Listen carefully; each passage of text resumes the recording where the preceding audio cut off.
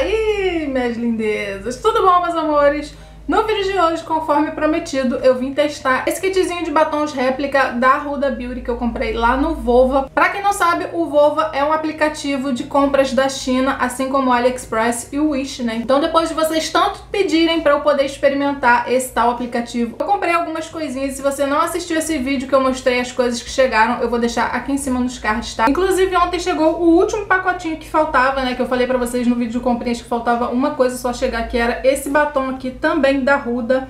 Eu vou tentar experimentar ele aqui também, tá? Junto com esse daqui, porque ele é bem escuro. Acho que eu vou deixar ele pro final, porque ele é o mais escuro de todos. O link dele, infelizmente, já está indisponível. Não tem como disponibilizar aqui pra vocês, tá?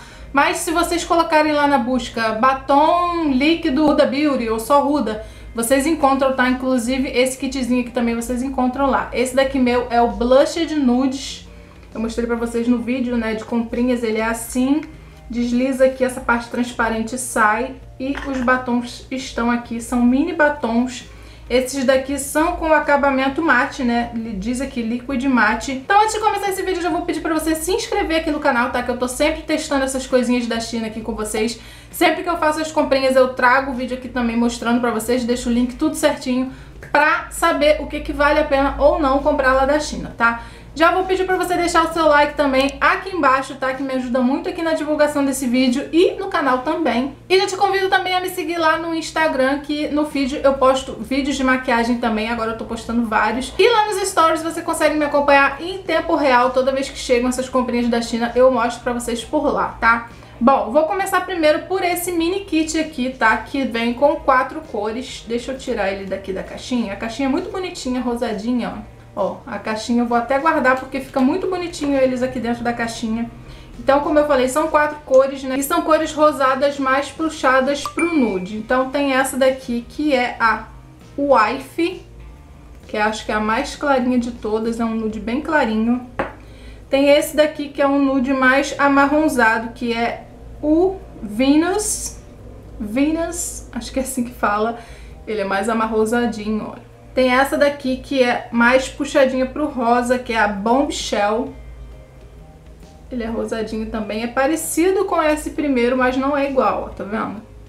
E essa última aqui, que é a Muse.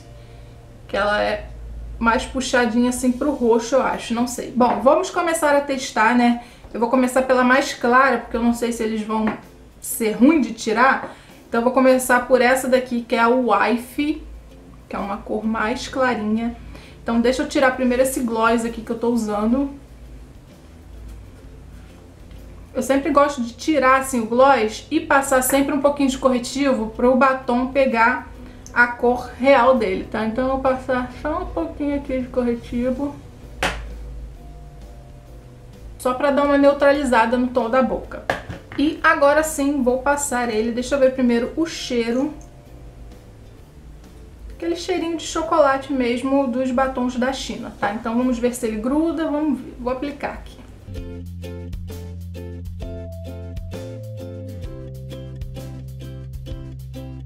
É, por ser uma cor mais clara, ele é tipo um batom que eu comprei da China também, da Kylie. Ele fica um pouquinho de nada manchado, tá? Mas... Tem uma borrocada aqui. Mas eu vou esperar ele dar uma secadinha e ver se ele constrói camadas, se eu posso fazer uma outra camada por cima dele, né? E vou esperar secar também pra ver se gruda. Achei bem bonita a cor. É um nude assim rosado mesmo, bem bonita. E batom da China é daquele tipo, né, gente? Ele dá uma grudada assim, ó.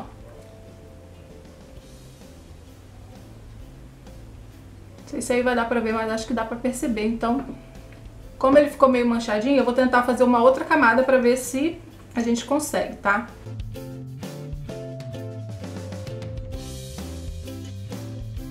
Então, gente, é assim, ele seca bem rápido, tá? Olha, deixa eu dar um zoom aí pra vocês verem. Mas ele dá uma grudadinha, mas bem de leve, tá? Ele não é aquele batom da China também que gruda demais, não. Tem uns que a gente cola mesmo um lábio no outro. Mas esse daqui,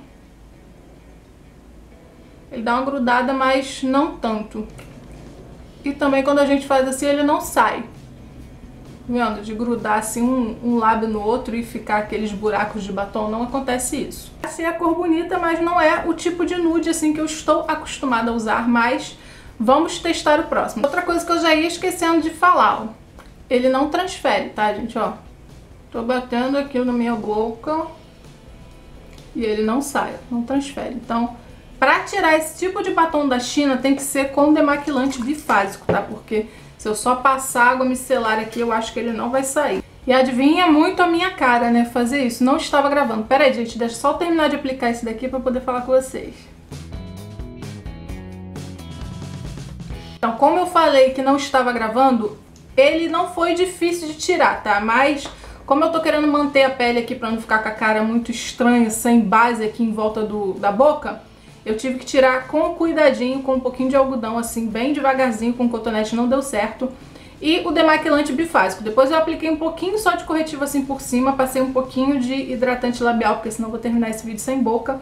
E essa cor que eu passei aqui foi essa daqui, que é a Venus, que ela é um nude mais nude mesmo, sabe? Mais amarronzado. Essa daqui eu achei bem mais fácil de aplicar e ficou assim mais uniforme na boca. Deixa eu dar o zoom aqui pra mostrar pra vocês. Essa ficou mais uniforme, ainda tá terminando de secar, aqui em cima tá um pouquinho brilhoso ainda mas eu achei a cor bem bonita, já é o tom de nude que eu realmente uso. Gostei bastante, esse daqui com certeza eu vou usar bem mais.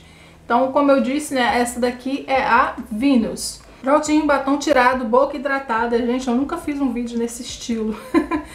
é difícil, não é mole não, tá? Agora eu vou testar esse daqui, que é o Bombshell, que ele é um pouquinho mais rosado. Tomara que ele não seja igual aquele primeiro, porque esses tons de batons rosas, geralmente, eles ficam manchados, né? Então, vamos ver.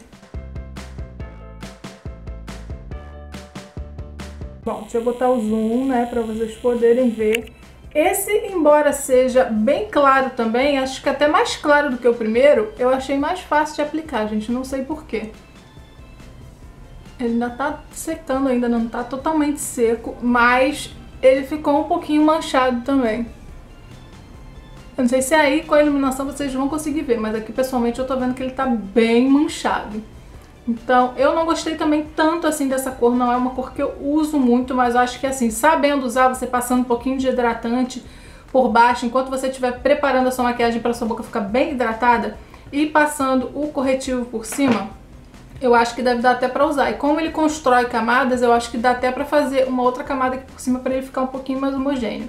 Eu não vou fazer porque eu tô testando aqui pra vocês, gente. Eu não vou fazer outra camada não, tá? Porque fica bem mais difícil de sair. Então, Hum. Tá vendo aqui? Que ele ficou mais com um buraquinho. O grudar é o mesmo dos outros batons. Então, vamos tirar esse. Vamos para o último desse kit, que é o Muse. Gente, que cor maravilhosa.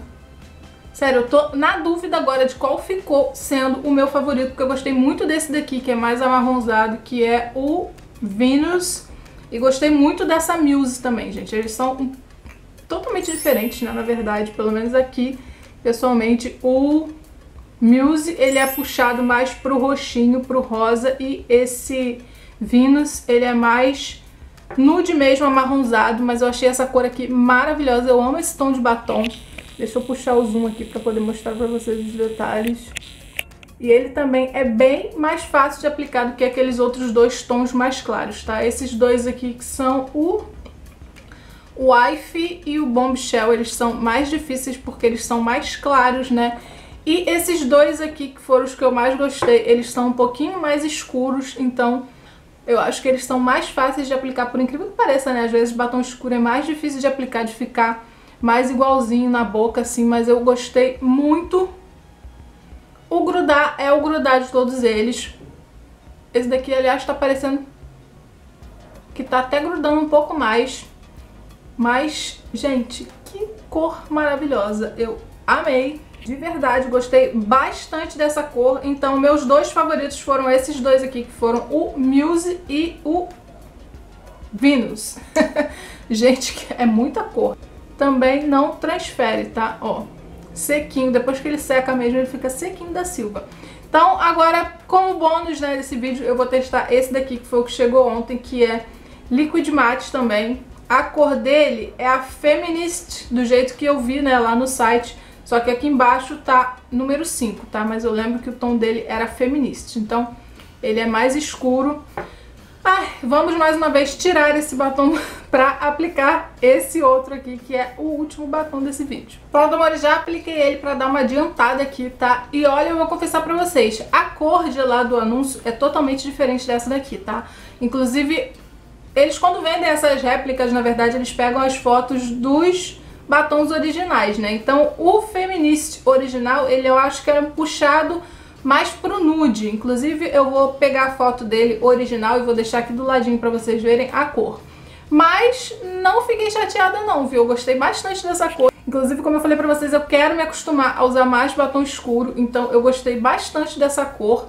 Ele é um vermelho assim, mas um vermelho mais puxado pro rosa, sabe? Então ele não é tão vermelhão assim, não é tão chamativo. Esse daqui eu acho que eu usaria super de boa pra sair. Bem bonito e ele gruda mais também do que o outro, tá? O cheiro é igualzinho, aquele cheiro de chocolate branco, assim, um cheiro meio docinho. Mas esse daqui é de vendedor diferente, tá? Então... Tá dando pra ver? Ó, ele gruda bem, bem mais mesmo. Mas pra mim não incomoda, gente. Assim, quando a gente tá falando, a gente sente um grudadinho, mas batom líquido mate é o tipo de batom que a gente não fica também o tempo todo assim, entendeu? Então, depois que ele seca totalmente, a gente não fica assim, né? Geralmente quando é batom cremoso é que a gente fica fazendo assim com a boca. É pra poder ele sempre ficar igualadinho. Mas o batom líquido mate, geralmente eu não faço isso, tá? Então, essa daqui é a cor feminista. Eu achei bem parecida até com a embalagem. Só o grudar mesmo que dá uma incomodada. Se você não gosta desse tipo de efeito, se você nunca comprou nenhum batom da China, você vai achar uma sensação assim um pouquinho estranha, tá? Mas não me incomoda tanto assim, então eu gostei muito dessa cor. Bom, então esse kitzinho eu recomendo se você gostar de todos esses tons de nude, tá? Agora se você gostar só de dois, como foi o meu caso, eu compraria os dois separados, porque isso daqui, se eu não me engano, é um kitzinho de... Não é aniversário, é tipo um kitzinho especial que eu acho que é das cores mais vendidas da Ruda, né? Então, esses batons você encontra eles separados, tá? Inclusive lá no Volva, no Wish é mais difícil porque essas réplicas são mais difíceis de encontrar por lá. Mas no Volvo eu acho que pode ser até que você encontre. Como é um aplicativo assim relativamente novo, tem muita coisa que ainda não chegou por lá também, né? Então, se você quiser comprar, esses três aqui foram os meus favoritos. Por incrível que pareça, esse daqui eu gostei bastante. Então foram o Feminist, o Venus e o Muse. Foram esses três aqui os meus favoritos. Esses dois eu também vou usar, né, gente? Acho que até fazendo uma misturinha deles, eu acho que dá pra usar também. Vocês vão me ver usando aqui em tutoriais e lá no Instagram também. Bom, cansei, viu, gente? Esse vídeo, sinceramente, acho que foi mais difícil do que vídeo de tutorial de maquiagem, porque esse negócio de botar batom, tirar batom, passa base, passa corretivo, passa hidratante na boca foi bem difícil de fazer, mas eu espero muito que vocês tenham gostado, tá? E se você gostou, não esquece de clicar em gostei aqui embaixo para me ajudar na divulgação desse vídeo e aqui no canal também. Já aproveita e se inscreve também no canal, porque eu tô sempre testando esses produtinhos da China que eu compro e sempre que eu faço as companhias eu mostro por aqui pra vocês também. Não esquece de ativar o sininho pra toda vez que eu postar esses vídeos novos por aqui, você vir aqui me ver. Já te convido para me acompanhar lá no Instagram também, que com certeza eu vou postar, tá? Tutoriais lá no feed com esses batons. E daí você já aproveita e me acompanha lá nos stories também em tempo real. E é isso, meus amores. Um beijo. Fiquem com Deus e até a próxima. Tchau!